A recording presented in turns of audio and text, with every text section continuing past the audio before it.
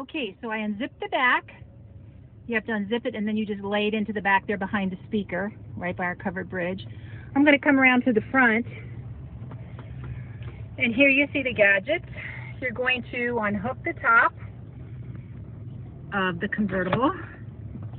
Those are solid. They're not going to go anywhere. It's a heavy roof.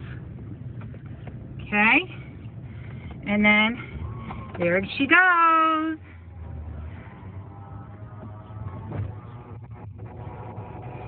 Down she goes. And now, here we're in a car with the convertible and the speaker.